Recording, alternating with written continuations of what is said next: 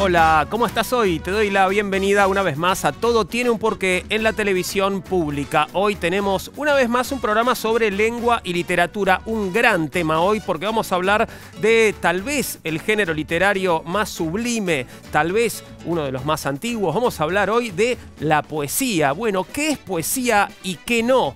¿Cuándo surgió la poesía, cómo fue evolucionando a lo largo del tiempo, cuáles son las métricas tradicionales, cómo es la composición de un poema, qué es el verso libre, cómo se expresó la poesía aquí en nuestro país, en la Argentina, quiénes fueron nuestros más importantes poetas. Vamos a estar hablando sobre eso, por supuesto, con especialistas, pero también vamos a conversar hoy con una gran poeta argentina y también con un editor de poesía en eh, nuestro programa. Así que quédate, vas a disfrutarlo mucho comenzamos nuestro recorrido por la poesía con nuestro primer invitado. Hoy nos visita Ariel Schettini. Ariel es licenciado en letras, es docente de poesía latinoamericana en la Universidad Nacional de las Artes y titular del posgrado para curadores de arte de la Universidad de 3 de Febrero. Colabora en varios diarios y revistas como crítico cultural y publicó El Tesoro de la Lengua, una historia latinoamericana del yo y varios libros de poemas. También es poeta Ariel. ¿Cómo estás, Ariel? ¿Todo bien? ¿Qué tal? ¿Cómo estás? Muy bien, gracias por venir. Bueno, ¿cómo podemos definir la poesía? No es tan fácil, ¿o sí? No, bueno, digamos, no hay ningún modo de definir la poesía porque es un género que abarcó tantos años, tantos siglos, tanta abarcó toda la historia de la humanidad, de modo tal que en cada momento uno debería decir, bueno, la poesía fue esto en este momento, la poesía fue aquello en este momento. Incluso, por ejemplo, en la literatura argentina, pensá que hubo un momento en que la poesía era mostrar la vida de los gauchos y otro momento era que mostrar eh, una persona que se estaba volviendo loca. Pienso cuando un gaucho dice, mira, gaucho salvajón, que no pierdo la esperanza de hacerte saber qué cosa es Tintín y Refalosa. Y una poeta de este siglo puede decir, explicar con palabras de este mundo que un barco partió de mí llevándome. Son dos cosas completamente distintas. Y las dos son poesía. Y las dos son poesía. Hay algo igual que tiene que ver con el lenguaje y la musicalidad, la materialidad de las palabras. ¿Eso podría ser algo en común en todos los tiempos de la poesía? Puede ser, incluso podría ser como el momento en el que el lenguaje reflexiona sobre sí mismo, también la idea de el, momento en el que pienso en el lenguaje como una como cosas que que, puedo manipular y sobre las cuales puedo pensar, cuáles son los límites de su sentido, hasta dónde puede llegar una palabra, una frase. Eh, Te propongo que veamos un informe. Tenemos un informe que, bueno, aventura los orígenes de la poesía. Eh, y seguimos conversando. ¿Te parece, Ariel? Los orígenes de la poesía en el mundo. Veamos. Aunque es difícil establecer su origen, se han hallado inscripciones jeroglíficas egipcias del año 2600 a.C.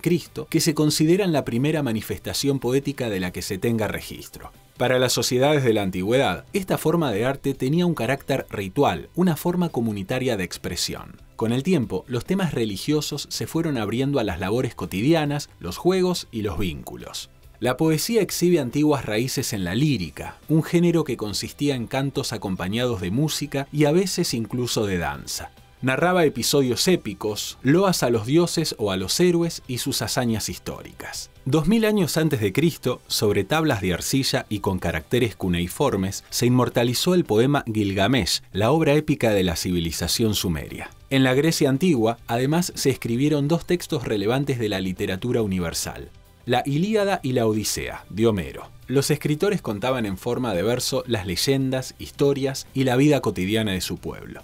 Entre los más famosos de la antigüedad, además de Homero, se encuentran Hesíodo y Alcmán, también Safo, la poetisa griega que escribió odas y cantos nupciales. Los filósofos griegos como Platón y Aristóteles analizaron las obras épicas, los himnos, las elegías y los yambos para tratar de entender su esencia. Fue Platón quien sobre todo profundizó en la distinción entre épica, drama y lírica, mientras que Aristóteles realizó un estudio estético en profundidad acerca de las diversas manifestaciones literarias. Los romanos adaptaron buena parte del pensamiento y las obras griegas. La Eneida fue la reescritura que Virgilio hiciera de las obras homéricas. Fue considerado el poeta por excelencia hasta la Edad Media. Sin embargo, no fue el único de los líricos romanos, también se destacan Lucrecio, Ovidio y Horacio.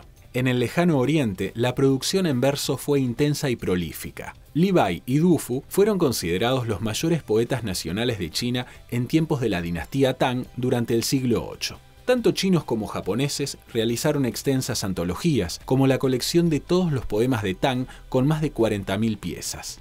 El haiku, desarrollado en la misma época, es una de las formas líricas propias del Japón se destaca por la brevedad y llegaría con el tiempo a alcanzar una difusión universal. Con el devenir de los siglos, la poesía fue evolucionando. Pasaron casi 5.000 años desde los primeros versos registrados, y el género se mantiene vivo y en constante evolución. Lo que decías, ¿no? La poesía ha evolucionado a lo largo del tiempo y en la antigüedad eh, cumplía otra función diferente de la actual también, ¿no? Bueno, a, veces diferente y también en muchos casos una función parecida. Por ejemplo, pensar que la poesía que ha, que ha fundado naciones, ¿no? como el problema que estuvimos viendo recién, y nosotros usamos los himnos nacionales como parte de, de lazos de unión espiritual entre un grupo de personas y se usa ese poema, digamos, cuando las personas hablan de batallas y cuando hablan de fútbol. O sea, eh, ahí aparece la poesía para mostrar identidad nacional, por ejemplo, que sería como uno de las funciones para la que se ha usado. Vamos a meternos ya en, en la composición de la poesía. ¿Qué diferencia hay entre un verso y una estrofa, por ejemplo? Bueno, el verso sería la línea, la estrofa sería el agrupamiento de esas líneas. Lo que tiene de interesante es que cada lengua ha organizado versos y estrofas en relación con, eh, con esto que decías vos, que era cómo ellos, cada, cada lengua piensa sobre sí misma. Entonces, lo que significa una estrofa en francés no es lo mismo que lo que significa una estrofa en español, porque tiene que ver con el ritmo propio de la lengua y con los poetas que buscan el ritmo de la lengua, ¿no? Que eso también es interesante. ¿Y cuáles son las métricas de la poesía? Hay métricas tradicionales, ¿no? ¿Qué, es la métrica? Tiene que ver con la duración del verso, ¿no? Es la duración de la, es la duración, es contar la duración, las sílabas, la cantidad de las sílabas y o la duración de las sílabas de acuerdo con las distintas lenguas. Em, por ejemplo, en inglés se cuenta la duración de las sílabas, que es una, que es algo importante. Se cuentan pentámetros, por ejemplo, cosa que nosotros no, no, no tomamos en consideración. Pero eh, lo interesante, digamos, es que la métrica puede o no ser un útil interesante ahora para un poeta. Hay poetas que, a los que les interesa mucho la métrica y hay poetas que, la desprecian totalmente como una forma completamente artificial. ¿Y a qué se llama sinalefa? Ay, bueno, o sea, si empezamos con, con, cada una de las figuras, hay tantas figuras, digamos, sinalefas, hiatos, son los modos en los que se puede medir de acuerdo con si yo pego o despego la relación entre las sílabas. Entonces, hay infinita cantidad de recursos poéticos por los cuales un poeta puede ordenar su, su, su organizar, digamos, su, poesía, ¿no? O sea, todas esas, todas esas instrumentos, en realidad lo que tienen de interesante son que son como materiales para que el poeta vaya y, diga, bueno, yo necesito, digamos, organizar este universo, puedo usar, puedo aprovecharme, digamos, de distintos instrumentos como La caja de herramientas del poeta. Exacto, una caja de herramientas, tal cual, qué linda figura. Eh, y mm, si hablamos de, de, de formas clásicas de, la poesía, el soneto, por ejemplo. ¿Qué es un soneto? Un soneto me manda a ser violante, dice Lope de Vega. Em, el soneto es una forma muy clásica de, la poesía y al mismo tiempo muy moderna, porque fíjate que recién acabo de citar un verso de Lope de Vega que digamos, para decirlo rápidamente, el soneto es una construcción de 11 sílabas que tiene primero un, eh, eh, dos estrofas de cuatro versos y después dos, dos estrofas de tres versos, pero que, digamos, podemos nosotros rastrear sonetos en el siglo XV y XVI del español y también podemos encontrar sonetos ahora, porque por ejemplo no hace mucho tiempo Pedro Mairal sacó un libro que se llama Porno Sonetos, que es un libro hermoso y muy divertido sobre de poesía pornográfica poesía, pornografía y sonetos. O sea, ¿qué más querés? Un combo imbatible. Imbatible. ¿A qué se llama verso suelto y a qué se llama verso libre? Bueno, la diferencia entre verso suelto, el verso suelto sería algo que forma parte de la, las construcciones medidas y el verso libre es cuando vos decidís escribir una poesía que busca su propio ritmo y que ya no le va a prestar atención a ninguna regla ni poética ni retórica que exista acerca de la poesía, porque como la poesía también es una búsqueda, o sea, nunca es un encuentro, siempre es una búsqueda, puede haber poetas, de hecho los hubo en la Argentina, eh, y es algo que prácticamente define la poesía de vanguardia, define la relación entre Lugones que acá tenemos con Borges, por ejemplo, que era una pelea acerca de si se puede o no medir versos y aprovecharse, digamos, de esos instrumentos que serían como, que serían como adocenados, que sería como una cosa ya envejecida. ¿Y existe la poesía en prosa? Existe la poesía en de cualquier modo, o sea, existe la poesía en la cancha, por lo tanto existe la poesía en cualquier situación, ¿no? La poesía en prosa puede existir, de hecho, bueno, uno de los, uno de los libros de, Baudelaire ha sido traducido como poesía en prosa, y sí, digamos, puede existir, o sea, porque la, poesía es, es esto, es más bien como un estado espiritual que una forma completamente ya medida, ¿no? Entonces, eh, sí, existe la poesía en prosa, de hecho Girondo eh, escribió poemas en prosa y Baudelaire escribió poemas en prosa y todo el mundo escribió poemas en prosa. Hay una primera distinción entre poesía épica y poesía lírica. ¿Cómo podríamos diferenciarlas y qué ejemplos históricos tendríamos de una y de otra? Bueno, mira, la poesía, eh, la poesía épica sería esto, ¿no? esa poesía que está para fundar naciones, que está para decirle a una nación cómo se constituye a sí misma. Contar grandes historias. Grandes historias del, hombre, ¿no? O sea, desde eh, la Ilíada en adelante. Eh, o también, digamos, grandes epopeyas humanas, ¿no? Porque uno podría decir que el infierno de Dante es parte de esa idea épica que sin embargo cuenta la historia de dos hombres que se internan en el infierno y van a ver cómo son, cómo es la vida de los condenados eh, a, nunca ver a Los Ángeles y a Dios. Y mm, la, poesía lírica que vos acabas de nombrar sería esa especie de constitución de una eh, interioridad, la búsqueda de, los, de las emociones, tratar de expresar exactamente cómo yo puedo pensar y reflexionar acerca de las emociones que siento, la que se usa en el pop, por ejemplo, sería un tipo de poesía lírica, ¿no? que es esta reflexión infinita que nosotros tenemos acerca de las emociones humanas. Eh, haciendo un poquitito de historia, vamos al Renacimiento. ¿Qué características tuvo la poesía en el Renacimiento? ¿A quiénes mencionarías? Lo más interesante de la poesía del Renacimiento quizás es que eh, es una poesía donde aparece el tema del amor como el tema más eh, decisivo, y, a, partir de ahí toda una retórica sobre el amor entre dos personas y la dinámica de amor entre dos personas que es eh, algo que todavía se conserva en la poesía. Cuando uno piensa en la poesía más... de, un modo más directo, lo primero que piensa es en ese estado de necesidad de expresar emociones interiores y relaciones entre relaciones de tipo sentimental, erótico, entre dos personas. Es como la idea más extendida sobre la poesía que circula. Exactamente, es la poesía más extendida, sí y tiene como una tiene una historia que se remonta al Renacimiento incluso antes del Renacimiento, ¿no? Y em, si, tenemos que, por supuesto, correr muy rápido, ¿no? A lo largo de la historia y de los siglos, desde el Renacimiento hasta el siglo XIX, ¿cómo fue evolucionando el, el género de la poesía?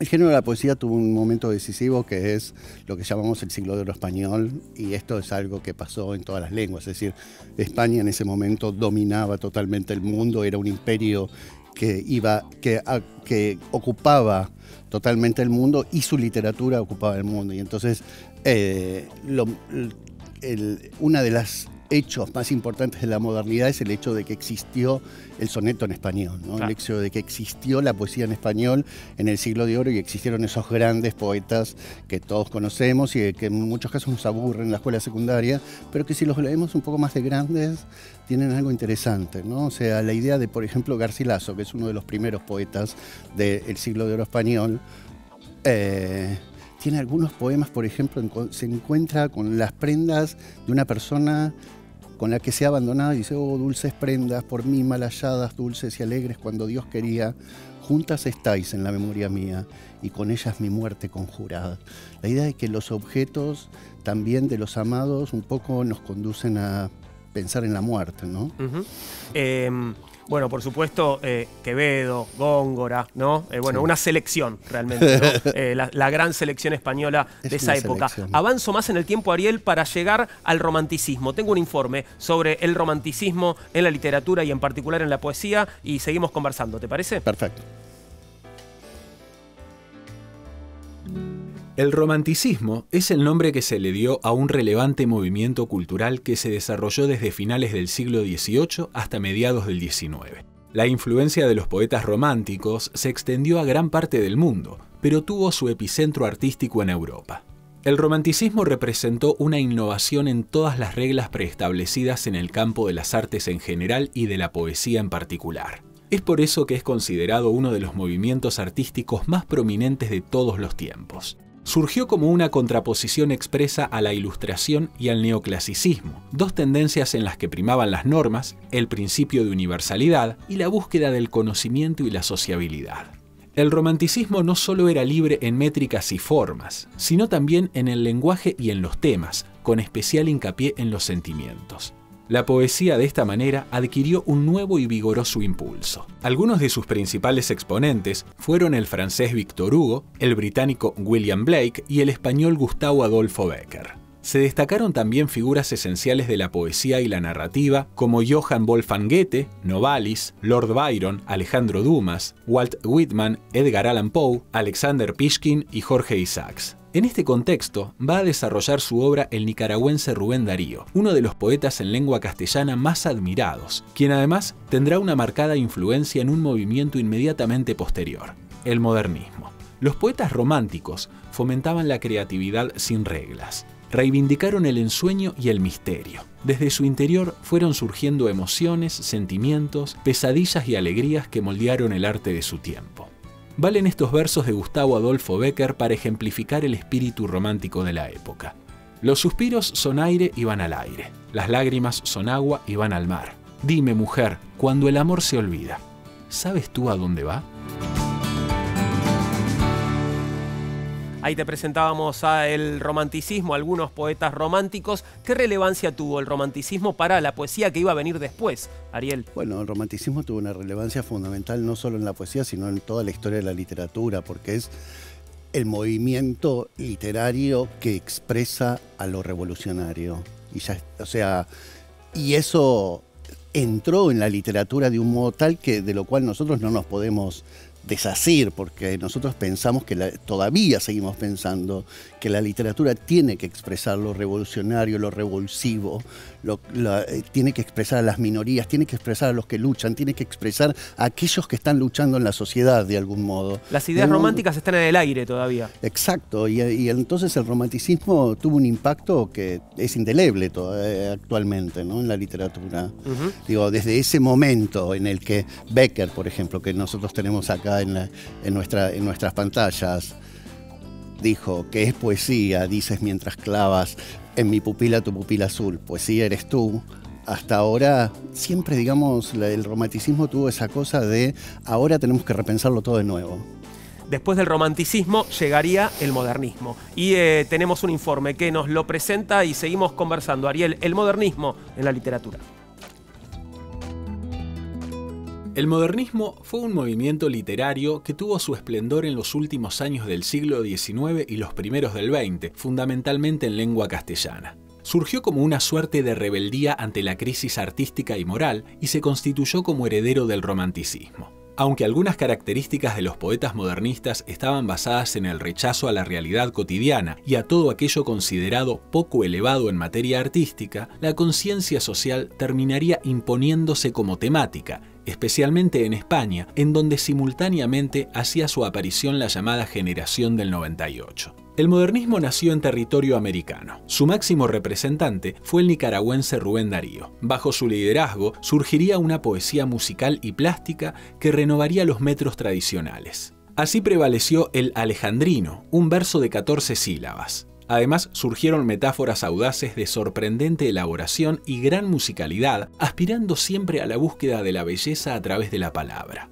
Pero Rubén Darío no fue solo uno de los poetas más importantes en lengua castellana por obras como Prosas profanas o Cantos de vida y esperanza, sino por la inmensa influencia posterior de su estilo literario que marcaría profundamente a las futuras generaciones de poetas hispanoparlantes. Son muchos los autores iberoamericanos que han cultivado este estilo, como el peruano Manuel González Prada, el argentino Leopoldo Lugones, los mexicanos Manuel Gutiérrez Nájera y Amado Narvo y el colombiano José Asunción Silva, entre otros. De manera simultánea, en España, la generación del 98 nacía como consecuencia de los conflictos de identidad nacional que atravesaba el país, desencadenados por la derrota militar en la guerra hispano-estadounidense. La influencia de Rubén Darío en territorio español fue decisiva. El grupo que conformó la generación del 98 estuvo constituido por ensayistas y poetas, principalmente por Pío Baroja, Ramiro de Maestu y Azorín. Además de estos tres relevantes escritores, se destacaron Miguel de Unamuno, Antonio Machado,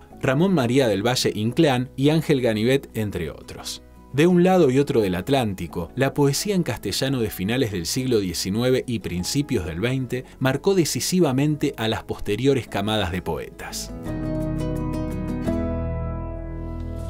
Entramos, Ariel, al siglo XX, el siglo de las vanguardias, ¿no? Se rompe un poco todo. ¿De qué manera las vanguardias eh, artísticas influyen y afectan la producción poética?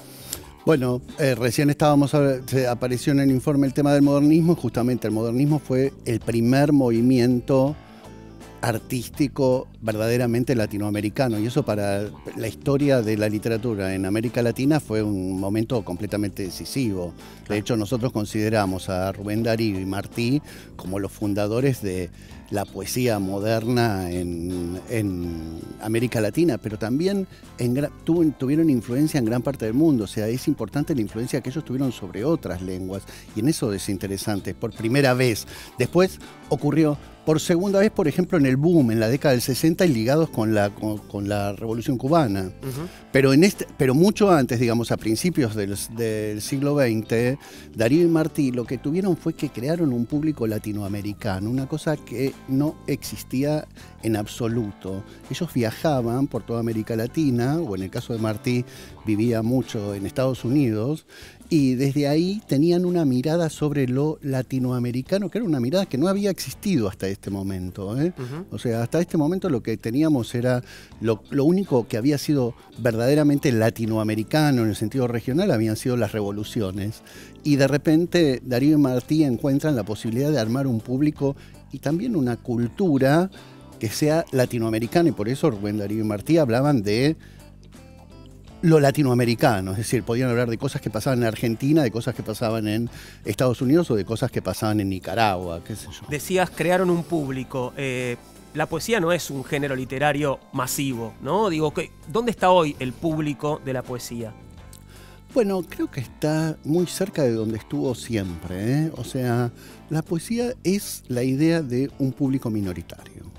O sea, es la idea de lo elitista es la idea de lo elitista incluso en la vida de uno. Es decir, eh, la poesía no es una experiencia que uno tenga de modo cotidiano, es una experiencia de, que va como marcando la vida. Y los poetas no nos interesan a todos los mismos. Alguna vez nos cruzamos con algún poeta que es decisivo y que transforma nuestro modo de pensar, nuestro modo de hablar y nuestro modo de, de vivir. ¿no? Pero es muy difícil este, este proceso por el cual uno llega a encontrarse con aquellos poetas que te gustaron o que marcaron, marcaron tu vida. Y esto supone un gran trabajo. No sé si... Ahora uno podría decir que la poesía está en los medios electrónicos, ¿no? Claro. que es uno de los grandes lugares donde aparece la poesía y si uno la busca aparece de un modo muy interesante. Bien, volveremos sobre eso. Eh, Alguien quiere hacernos una pregunta. Eh, creo que es Felipe, Felipe Colombo. ¿Cómo estás, Felipe? ¿Qué querés saber? ¿Qué tal, Juan? ¿Cómo va? Acá Felipe, un saludo para vos, para toda tu audiencia, para todo el equipo y para toda la gente de la televisión pública. Un, beso enorme. ¿Sabes que te molesto porque tengo una pregunta? Tenemos una, una duda acá y quería consultarte. Eh, específicamente, bien claro, ¿qué es la capa de ozono? ¿Es tipo una capa como de superhéroe o es algo que, que recapa? Eh, ¿Nos podría decir bien bien qué es la capa de ozono?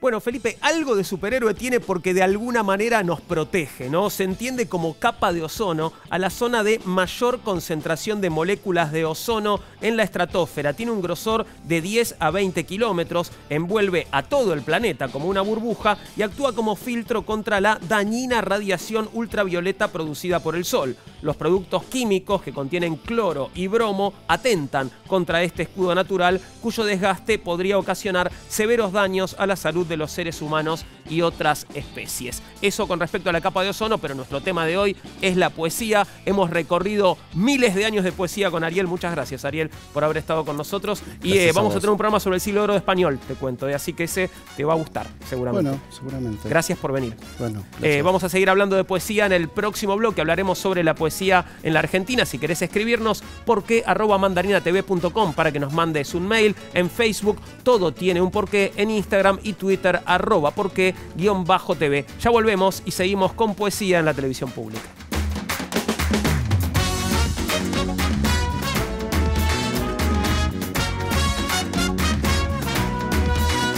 Continuamos con Todo tiene un porqué. Hoy estamos hablando de poesía. Hemos hecho una suerte de pequeña historia universal de la poesía en el primer bloque y ahora vamos a hablar de la poesía en Argentina. Y para eso recibimos a nuestra siguiente invitada. Hoy nos visita Luciana Del Giso. Luciana es doctora en literatura, es investigadora asistente del CONICET, es docente de literatura argentina en la Universidad de Buenos Aires y es autora del libro Volver a la vanguardia, el invencionismo y su deriva en el movimiento Poesía Buenos Aires y junto a Facundo Ruiz compiló la antología temática de la poesía argentina que además eh, Luciana ha tenido la gentileza de traernos eh, un ejemplar de su antología, ahí podés verlo, antología temática de la poesía argentina, junto a Facundo Ruiz. Eh, muchas gracias, Luciana, por estar con nosotros. No, gracias a ustedes por la invitación. Bueno, contanos a partir de qué momento se puede hablar de una poesía argentina. Bueno, una pregunta compleja, Mm. porque, digamos, era ese es el problema que tiene toda la literatura americana, ¿no? Eh, la producción simbólica antes de la llegada de los españoles, el primer poema escrito en este territorio, el primero que nombra Argentina, que es del barco Centenera, en un poema en 1602, o, eh, bueno, el primero que empieza a hablar de eh, un pueblo argentino y empieza a diferenciarse de los españoles. Y ese es Vicente López y Planes justamente con el himno. Hay un consenso entre los críticos en fijar allí el inicio de la poesía argentina. Pero no es este el inicio de la poesía producida, digamos, en nuestro territorio, ¿no? Tenemos un informe que justamente da cuenta de eso y seguimos conversando, si te parece, ¿Cómo Luciana. no? Vemos los orígenes de la poesía en este territorio. La poesía en idioma español nació con la llegada de los primeros conquistadores. El fraile español Luis de Miranda, uno de los integrantes de la expedición de Pedro de Mendoza en 1536, fue el autor de Romance Elegíaco, un extenso poema escrito en nuestro territorio, probablemente entre 1540 y 1546. Años más tarde, Martín del Barco Centenera, que también era clérigo, escribió La Argentina y conquista del Río de la Plata con otros acaecimientos de los reinos del Perú, Tucumán y Estado del Brasil, conocido más popularmente como la Argentina. Fue publicado en Lisboa en 1602. Consta de más de 10.000 versos en decasílabos en octavas reales, divididos en 28 cantos. Se trató de un texto que pasó a la posteridad debido a la errónea creencia de que nuestro país fue bautizado por Del Barco Centenera, aunque en realidad el término Argentina es muy anterior a este poema. Sin embargo, el Santo Oficio y la burocracia española prohibían el ingreso a América de libros que versaran sobre ella. Del mismo modo que estaba vedada la importación de volúmenes de ficción por considerarlos malsanos, aquellos que trataban temas americanos tenían prohibida la llegada impresa a las tierras que les habían dado origen temático. Pese a ello, el contrabando de libros, tanto en prosa como en poesía, fue un negocio floreciente desde el siglo XVI hasta bien entrado el XVIII. En 1604 nació en la ciudad de Córdoba, en el seno de una familia acomodada, Luis de Tejeda, considerado el primer poeta argentino. Escribió una autobiografía en verso llamada El peregrino en Babilonia. La obra respondía a ciertos cánones de la época y se puede leer como una imitación de Luis de Góngora, uno de los grandes poetas y dramaturgos del siglo de oro español. Pero mucho antes de que llegaran los conquistadores europeos y se estableciera la poesía en español, en la Sudamérica prehispánica ya florecía la poesía oral. En 1959, el antropólogo paraguayo León Cadogan recopiló una serie de textos religiosos y éticos en forma de verso transmitidos en reuniones desde tiempos remotos. Titulado Aiburra Pitá, este libro es considerado una enciclopedia de la vida guaraní. Se compone de 19 capítulos. Los primeros cuatro tratan del Génesis, el origen de la divinidad suprema, de la primera tierra, de los hombres y del lenguaje humano. Los siguientes cuatro de la paternidad, de la segunda tierra y del origen del sol y la luna. El noveno habla de la buena ciencia contra los maleficios, el décimo de la medicina y la sexualidad. Los restantes tratan sobre el bien y el mal, con consejos y normas de conducta. Estos documentos demuestran que las expresiones poéticas existían en el territorio americano mucho antes de la llegada de los españoles. Avanzamos en el tiempo, Luciana, y llegando al siglo XIX, comentábamos con Ariel en el bloque anterior, un siglo en el que en Europa se impone primero el romanticismo, sobre el final llegamos al modernismo. ¿Qué pasaba con la poesía argentina durante el siglo XIX? ¿De qué manera reflejaba esto o producía otra cosa? Bueno, pasan dos cosas. Nombramos recién a Vicente López y Planes y bueno, todos los poetas que cantan las invasiones inglesas o la independencia que tienen un corte más bien neoclásico, es decir, esos poemas épicos que nombran a Apolo, a Marte, ¿no? Y de tono muy alto. Luego llega el romanticismo y pasan dos cosas en el siglo XIX centralmente. Por un lado, los poetas que están influenciados por ese romanticismo, José Mármol, Los Cantos del Peregrino, Em, y em, Echeverría con La Cautiva, pero paralelamente se empieza a producir la poesía gauchesca. Una poesía más popular, de tono más bajo, muchas veces que recurre al humor, y ahí están Ascasubi, Estanislao del Campo, que tiene, y, el antecedente que es Bartolomé Hidalgo, que empieza a escribir coplas y cielitos en metros más pequeños, ¿sí? los metros largos eh, era la poesía alta, los metros pequeños de ocho sílabas era la que se podía reproducir, la que la gente eh, memorizaba, sobre todo en un pueblo iletrado, entonces podía memorizar y eran parte del refranero popular. Si ya avanzamos hasta comienzos del siglo XX, ¿qué relevancia tuvo un señor que tenés justo detrás y que está en nuestras pantallas, Leopoldo Lugones, para la poesía, la literatura y diríamos la cultura argentina, ¿no? Bueno, tiene que ver con el modernismo, pero antes, si me permitís, hay que nombrar el Martín Fierro. Claro. Que es el momento más elevado de la gauchesca y es, si se quiere, la primera fundación de la literatura argentina. Le dedicamos un programa a la literatura gauchesca hace eh, algunas semanas. Así que hablamos bastante del Martín Fierro. Por eso lo pasé por alto. Eso, entonces, este, entonces puedo avanzar hacia el modernismo. El modernismo es muy importante en Argentina porque Rubén Darío llega en 1893 y se queda 20 años en Buenos Aires. Entonces tiene una influencia muy importante y nuestro poeta modernista, nuestro gran poeta modernista es Leopoldo Lugones. Leopoldo Lugones que podemos decir que es un atleta de la palabra. Borges decía que eh, usaba todas las palabras del diccionario, ¿sí? con una obra enorme muy épica, de tono alto, em, muy rica en musicalidad y en figuras retóricas. Es como el momento más alto de la poesía argentina en cuanto a esas características, si se quiere. ¿Mm? Voy a ir un poco desfilando, ¿no? Por distintos nombres y figuras. Te pregunto por Alfonsina Storni, también la tenemos en nuestras pantallas. Alfonsina pertenece al momento que llamamos postmodernista, no el posmodernismo de los años 80 y 90, ¿no? sino la poesía posterior al modernismo. que lo que hace es, digamos, conserva esa musicalidad y muchos rasgos del modernismo, pero le baja un poco el tono y, eh, digamos, quita los oropeles, los cisnes, los terciopelos que tenía la poesía de Rubén Darío y de Lugones. ¿Ella estaba integrada a algún movimiento, formaba parte de algún o era más bien una, un outsider? Bueno, los pormodernistas, eh, digamos, no, tenían un movimiento muy fijo, pero lo interesante de, de Storni es que conforma una figura femenina eh, que se revela un poco del rol que tenía fijado para la mujer en esa época. Alfonsina no, no, está cómoda en ese rol y en, el, en el rol de escritora mujer, ¿no? Eh, está muy incómoda y eso se refleja en su poesía y prefigura la poesía de mujeres y por supuesto el feminismo. ¿Y qué podrías decirnos de Baldomero Fernández Moreno y de Baristo Carriego? Bueno, otros dos posmodernistas, ¿sí? Em, de diferente manera, los dos empieza a entrar la ciudad. En Carriego, un poco más los bajos fondos, ¿no? Eh, un poco más esa poesía más, un poco, si quiere, sentimentaloide, acerca de las desgracias, de la pobreza, de la miseria de la época. Y en Baldomero Fernández Moreno es la ciudad más vinculada a la modernidad los, los tranvías, los 70 balcones sin ninguna, flor, ¿no? Este, entonces es otro tipo de ciudad, pero los dos pertenecen a esa misma época, ese mismo momento. ¿Y en qué momento surge la figura de Borges como poeta?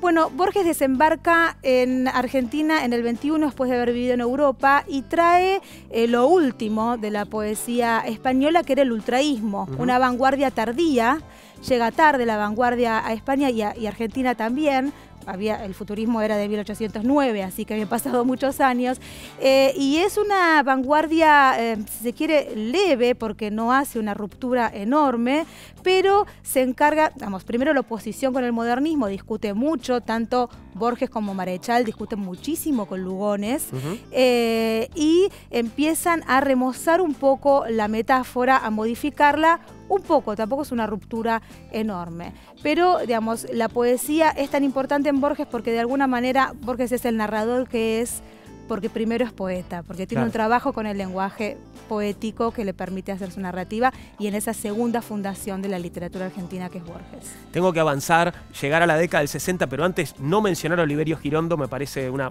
picardía, ¿no? A Raúl González Tuñón. Bueno, Girondo, Tuñón y yo agregaría ahí también una trilogía con Nicolás Olivari, que Ahí sí hay una ruptura vanguardista mucho más fuerte, eh, de tono cubista, influencia de Apollinaire, donde la ciudad y la modernidad de la ciudad eh, cobra un lugar muy importante en los tres eh, y donde realmente renuevan cada uno con su tono propio el lenguaje poético y de qué manera, ahora sí avanzando hacia los 60, las vanguardias de los 60 inciden en la forma de producir poesía en nuestro país. Bueno, ahí hay que decir que los 60 no se pueden entender si no tenemos en cuenta lo que pasó en los 40 y en los 50. Perdón.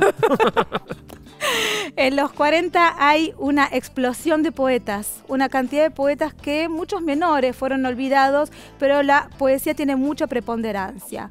Y en los 50 hace una primera incursión, una vanguardia rara, poco conocida, llamada invencionismo, que se encargó de alguna manera de desarmar ese lenguaje que había dejado el modernismo tan elevado, tan lleno de oropeles y cisnes, lo termina de desarmar con una poesía que es netamente fonética, con un poeta que se llama Edgar Bailey, que trabaja con los neologismos, una poesía que no tiene sentido, y que lo que hace es limpiar el lenguaje, porque cuando devuelve el mismo baile y la semiosis al lenguaje, la devuelve ya con un tono llano, pequeño, intimista, cotidiano. Y eso es lo que se da después, en los años 60, con eh, un Lamborghini, con un César Fernández Moreno, el hijo de Baldomero, eh, que trabajan con una poesía conversacional más llana, más como se hablaba en la calle, pero no por eso menos lírica y menos interesante estamos muy cerca del momento en el que comienza la producción de una gran poeta argentina a quien tengo en comunicación. Así que te pido que me esperes un poco porque vamos a hablar con Tamara Kamensay. Ah, bueno, muy bien. Así que eh, voy a saludarla. Tamara es, por supuesto, además de poeta, narradora, ensayista, es una de las fundadoras de la licenciatura de Artes de la Escritura en la Universidad Nacional de las Artes y profesora titular de la Cátedra Poesía Argentina y Latinoamericana en la misma universidad. Hola Tamara, un gusto eh, saludarte. ¿Cómo estás? ¿Qué tal? Muy bien, Juan. Muy gracias, bien. Gracias por atendernos. Tamara, bueno, es poco tiempo y preguntas enormes, como te adelantaba en privado. ¿Qué significa la poesía en tu vida y, eh, y para tu trayectoria literaria, Tamara? Eh, bueno, yo la daría vuelta, diría ¿qué, qué significa mi vida para la poesía. Porque, porque siempre estoy escribiendo con cosas que tienen que ver con mi vida y creo que todos los escritores, que hay algo de lo, lo experiencial que aparece todo el tiempo. No que, ¿Por qué te la di vuelta? Porque por ahí si digo, ¿qué significa la poesía en mi vida? Quisiera decir que nada, que es un oficio, mi vocación, nada en especial, no quiero darle porque se tiende a darle siempre a la poesía, no sé por qué, hay un virus alrededor de la poesía que es el virus de lo alto, de lo, lo solemne. De lo solemne o del arte por excelencia y creo que le ha hecho bastante mal a la poesía, hay que, hay que bajarla, por eso es un oficio. Bien. Es mi oficio. Hablando, hablando de bajarla, este año publicaste libros chiquitos, ¿no? Y eh, en ese libro repasás tus lecturas formativas. ¿Qué, ¿Qué, poetas te influyeron y a cuáles seguís acudiendo como lectora, Tamara? Bueno, eh, sí, ahí en el libro nombro a, varios. El tema es que son, por un lado, siempre los mismos, pero por otros se van agregando otros y además los mismos son diferentes en cada etapa, porque busco otra cosa cada vez en ellos. Les descubro una cosa nueva. Ponele, me gusta, soy loca por César Vallejo, pero en una época era loca por la etapa vanguardista de Trilce y ahora soy loca por España aparta de mí este cáliz, que son muy diferentes, pero están conectados a la vez, no son cosas, tiros, por, disparos por elevación, ¿no? Así que este, los mismos, Girondo, que recién ustedes hablaban de Girondo, es otro que me influye, pero también distintos libros de Girondo por, por etapas, mías. Tiene que ver con, con, lo que yo estoy buscando para escribir. Y por último, los jóvenes, que yo leo muchísimo, los contemporáneos, y me influyen, me influyen mucho. Eh, les quiero sacar sangre sobre los vampireos, los vampireos. Eh, ¿Y qué dirías de, de, la poesía de tu generación, eh, Tamara? Eh, se, se, te suele ubicar, digamos, en, en, en, tus comienzos, son a esa generación de lo que se llamó el neobarroco, ¿no? ¿Cómo describirías sí. la producción de, de, los poetas de tu generación? Sí, sí, sí. Nos, nos, dieron ese nombre, un poco la crítica, ¿no? Nos puso un poco esa, esa etiqueta de neobarrocos, pero no está mal porque nosotros nos, en su momento trabajamos mucho al influjo de eh, Lezama Lima, Sardú y de, de, la poesía cubana de ese momento que era muy como distinta a nuestros, viste que uno siempre es parricida, ¿no? Uh -huh. Y digamos que nuestros antecesores generacionales eh, hacían una poesía, no voy a dar nombres, como se dice, como más abstracta, un poco fría, un poco gris, si querés. Entonces, el, el, neobarroco nos dio como una especie de opción colorida, coloquial, de introducir juegos de palabras, otros tipos de cosas. Pero bueno, después Néstor Perlonger, que es un compañero de mi generación, lo llamó Neo Barroso. Claro. Y eso me gusta mucho más, porque ahí da un paso hacia el, hacia el barrio, hacia el barro, hacia lo nuestro, ¿no? Eh, te hago una última pregunta, Tamara. Lamentablemente se me acaba el tiempo. ¿La poesía tiene que entenderse eh, o, o, digamos, no, nos entra, nos penetra, por decir de algún modo, de otra forma que no es necesariamente la racional?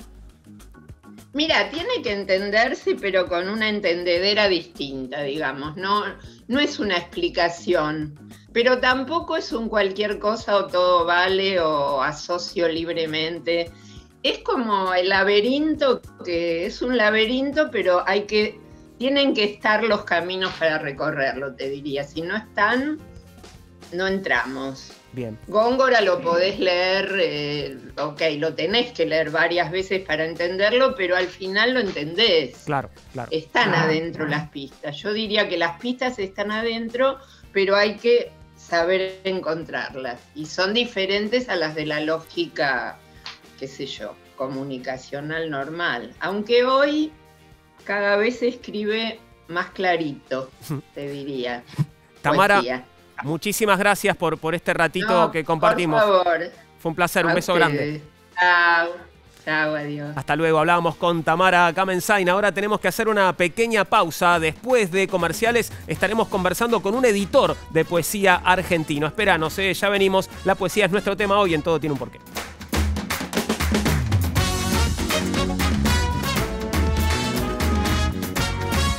Continuamos hablando hoy de poesía en Todo tiene un porqué y nos quedan unos minutos para hablar de la poesía que se produce actualmente en Argentina. ¿Qué podrías decirnos sobre la poesía actual de nuestro país? Bueno, como veníamos diciendo en el bloque pasado, en el siglo XX se produce un proceso como de rebajamiento del lenguaje poético, ¿no? Y eso es bueno, como decía recién Tamara, eh, porque la poesía termina hablando de lo cotidiano, de las cuestiones más cercanas a nosotros y tiene un tono más íntimo, eh, más eh, personal eh, y, y eso, más centrado sobre, sobre el yo. Eh, la poesía en este momento ha ganado mucho con las redes sociales, hay mucha reproducción por las redes sociales y eso también es buenísimo. Eh, y bueno, esperamos que se siga reproduciendo de esa manera por varios canales. Voy a hablar con un editor de poesía eh, argentina. ¿Me esperás un poquito, Luciana? ¿Cómo no? Enseguida vuelvo con vos. Estamos en contacto con Francisco Garamona. Francisco es editor literario, pero también es poeta, cantautor eh, y es librero. Publicó más de 40 libros en Argentina, Chile, Colombia, España y China y dirige una hermosa editorial llamada Mansalva. Hola Francisco, ¿cómo estás? ¿Todo bien? ¿Qué tal, Juan? ¿Cómo estás? Buen día. Eh, buenas tardes, gracias por atendernos. Eh, Francisco, contame, eh, ¿qué aspectos tomás en cuenta a la hora de decidir editar un libro de poesía? Y mira, la poesía tiene que tener algo que te conmueva, que te conmocione, como una velocidad, un estilo. Es difícil definir en dos o tres líneas qué sería, pero tiene que tener como el aire de la época. Entonces son un montón de factores que confluyen y que generan que un poema o, un- o un- o una obra poética te conmueva o no, visto, te movilice. Ahora, esto eh, es tu mirada como editor, cuando te pones del otro lado del mostrador, porque también sos poeta. Eh, ¿Considerás también todo esto Sí. que me estás diciendo? Y de una forma un poco más, más intuitiva, tal vez, pero sí, sí, es como, como que la poesía tiene que ser como, como algo que tenga una realidad que te golpee y que te lleve como al sueño, ¿no? De alguna forma. Entiendo. Sí, eh, Francisco, ¿y qué- ¿por qué dirías que, que la poesía no es un género masivo o popular? O bueno, o si lo es, si es popular para vos, eh, ¿por qué lo es? Bueno, en un principio tal vez no sea un género popular o masivo, igual nadie pide que sea masiva, ¿viste? No hay como una necesidad de que de la masividad, porque también hay como algo de que los placeres, algo que incluso puede ser algo medio negativo, pero los placeres a veces cuando menos los comparten, más placenteros son. Eh, eh, y la poesía, bueno, tiene, tiene como, para un lector de poesía tiene que leer un poquito o, meterse mucho, porque no es algo que se abre a primera entrada, ¿no? Es como que hay que volver y volver hasta que entras y después es algo simple también. Como que requiere un poquito más de paciencia nada más. Yo le, le preguntaba hace unos minutos nada más a Tamara Kamensain si eh, a, a la poesía hay que entenderla. Digo, la, la poesía propone un tipo de lectura diferente al de otros géneros literarios. Quiero decir, el, el pacto de lectura entre el autor y el Sí, sí, lector sí. es distinto. Y mira, la poesía más que entenderla hay que sentirla, hay que dejarse llevar. Y, hay de todo, ¿viste? Y tal vez es un pacto de más intensidad, un pacto... Tal vez el poema ser más corto también es más duradero el efecto. Bien, eh, ¿qué, poetas contemporáneos eh, o de una camada joven podrías eh, señalar? Tal vez algunos que estés editando, otros que no. Y te puedo re- recomendar a Talata Rodríguez, Cecilia Pavón, Candela Benetti, Jackie Goldberg, eh, Nicolás Mogilevsky, un montón de gente. Y con lo que te decía de la poesía, como para redondear, es como tener un sueño vívido, es como soñar con un perro y te despertás, en la mano tenés un puñado de los pelos de perro. Eso sería la poesía, ese puñado de pelos. Me gustó, eh, me gustó esa definición, Francisco. ¿Qué, dirías un poco? Lo estaba hablando con Luciana también. Eh, ¿Cómo caracterizarías a la poesía que se escribe hoy?